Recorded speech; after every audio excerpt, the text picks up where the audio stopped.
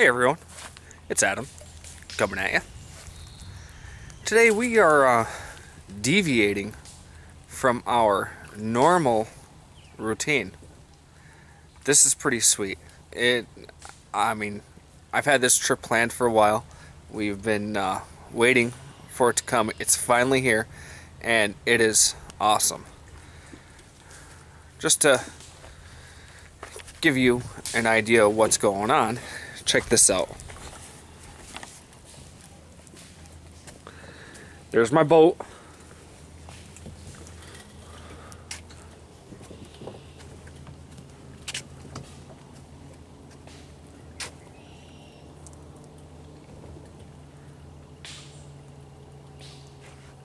Check this out.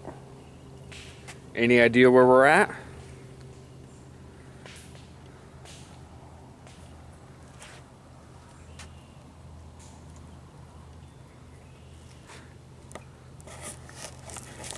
Now we are camping, but the thing that's special is that we are camping on an island up on the St. Lawrence River in Chippewa Bay along the St. Lawrence Seaway. This island is only accessible by boat. There's no bridges, there's no ferries. You have to bring your all your stuff out and uh, it's sweet. There's our campsite right there. And this is the view. Is this awesome or what? So, like I said, this is uh, isn't something that we normally do. I try to come up here a couple times a year, but this is my first time staying on the island. So, it is. We're so glad to be up here. Uh, it's me and my friend Dustin. You guys have never seen him before as far as I'm I can remember so. But yep it's definitely gonna be a good time. We are up here for five days. So I'm gonna be doing a lot of fishing a little bit of boating and uh, hopefully catch some fish. Maybe I'll show you how to fillet some. But it's gonna be a good time. I would have brought the camera out earlier when we got here but it was pouring rain for a couple hours and it finally died out so. All right well I'm gonna cast a line see if I catch a few and uh, go from there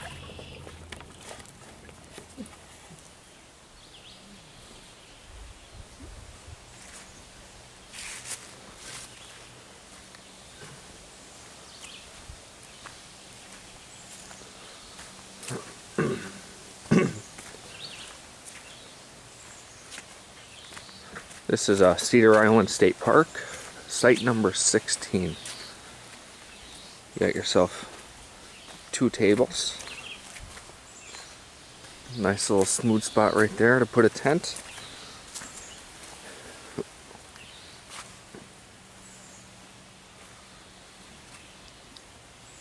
We are staying on site 15. Right along the water, this is your view that you would have. Look at that. It's awesome. It's been raining here for the past three days. This is our first dry morning that we got up.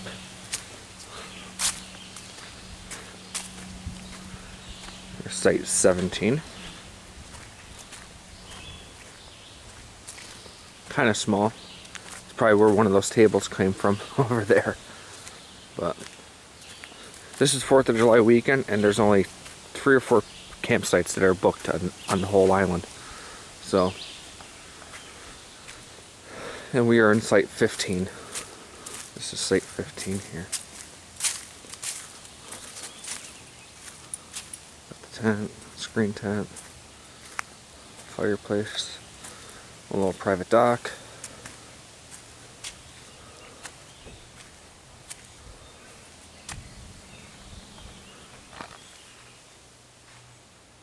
This is site 14. It's okay, it's if you had a small tent, you would be fine.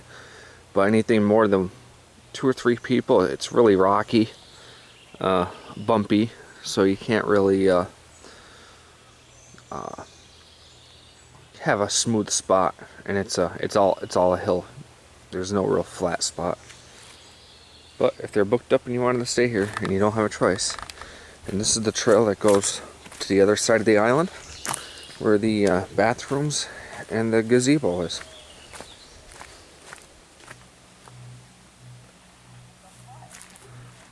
This is here looking by the toll booth. There it is.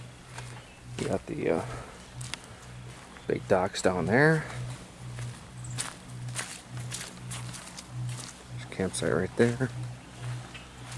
There's a little bay. This is on the other side of the island. There's the gazebo.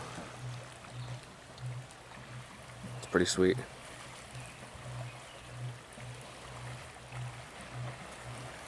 I'm not sure what's that. oh this is site number four. But the guy told us this isn't a good site because of all the water. See all the water there?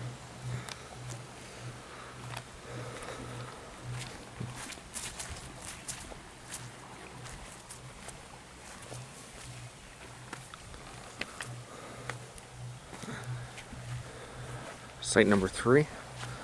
Got a nice little flat spot there. We can overlook the ocean here. Or the ocean, the river.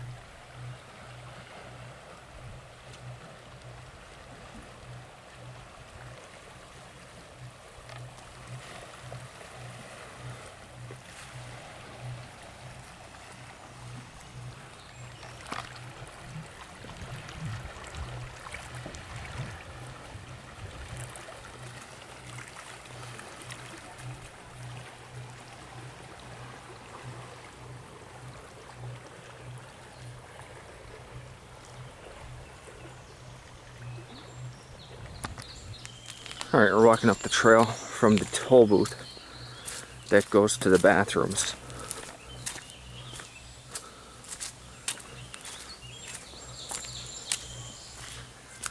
And there's some campsites around here also. There's campsite 7 over there. Yeah, 6 right here.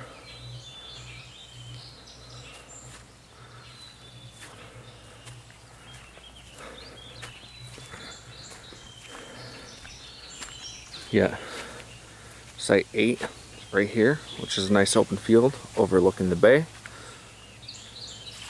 And then, I'm not sure, oh, right there, what is that? Looks like 9, site number 9. So, it's not bad. The only thing is, is you can't book a site per se. You can't really book a site you need to book a reservation on the island. When you get here, it's kind of like first come, first serve, and you go where you want. Pretty neat. This is the bathrooms. There's a flushable toilets, cold water only, no showers.